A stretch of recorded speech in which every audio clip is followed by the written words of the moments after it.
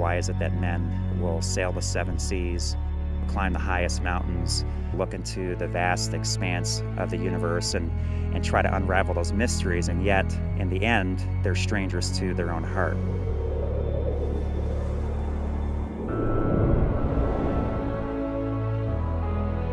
For me, this journey has not really been about the ark.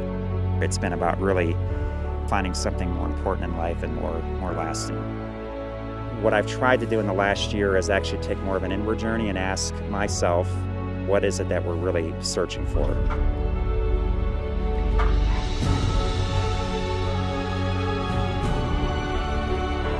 There's men that have come up here, their marriages are broken, they have broken relationships, broken families. They're good men, in many cases godly men, but life in some cases has been, has been hard. I really bonded with these men. Think they have hearts of gold. I've traveled the world, been to 60 countries, six continents. I've climbed five of the seven summits. I've skied to the North Pole. I've journeyed to the ends of the earth. But I did not have the courage until the past year to make an 18-inch journey from your head to your heart. So we hope for good weather.